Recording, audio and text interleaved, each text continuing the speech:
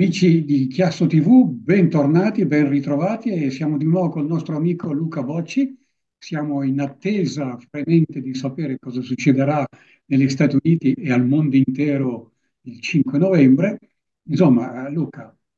Trump, Harris, chi vincerà secondo te? Le, le previsioni sono molto confuse.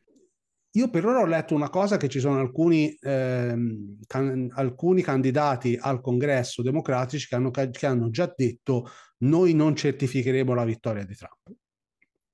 Il che vuol dire che secondo me i, um, i, sondaggi interni che sono quelli affidabili, non quelli che sono massaggiati per prendere, per mutare l'opinione pubblica, eh, stanno dando tempesta piena da quel punto di vista. Il fatto stesso che eh, Biden e Obama al funerale, al funerale di Ethel Kennedy, la, la, la madre, insomma la, la signora del, del, clan Kennedy che è passata a miglior vita eh, qualche giorno fa, stavano provando a leggere il labiale perché era troppo lontano, c'era troppo rumore, c'è qualcuno che ha detto a Obama, dice, che Obama prendeva e diceva she's done, cioè lei è, e, e la fu siccome immobile, cosa, cioè è finita, non c'è, non c'è niente da fare, ormai è perso. Perché altrimenti, se no, con um, Robert Kennedy Jr., Tulsi Gabbard Elon Musk che si mette lì a prendere a dire adesso taglio l'80% dell'amministrazione, la vedo veramente grigia per, per, per i suoi avversari perché la vendetta di Trump, almeno da quanto si è capito, la vendetta è adesso mi carico nella mia amministrazione tutti quelli che i democratici hanno preso e hanno schifato, che gliel'hanno fatte di tutti i colori,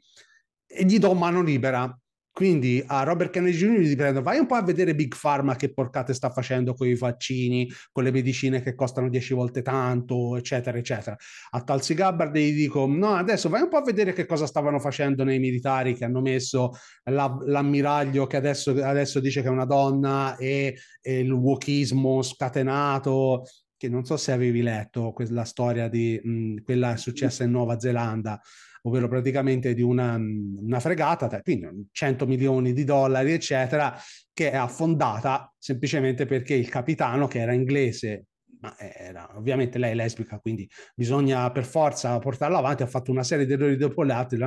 si è incagliata su un coso e è andata a picco, 100 milioni di dollari buttati via, perché c'avevi questa che doveva esserci lì perché siamo, siamo avanti, siamo progressisti. Se ci arriva Talzi Gabbard, che è una che l'ha fatte le guerre, eccetera, so guai. Se Elon Musk mette mano all'amministrazione federale, fa come ha fatto con X, con Twitter, ovvero licenzia l'80% delle persone e, e l'amministrazione va meglio. Cioè, questa è la, è la vendetta che c'ha, il che spiega perché molti siano, siano veramente a livelli di disperazione, perché dicono, quindi a questo punto forse è meglio limitarlo per evitare che faccia danni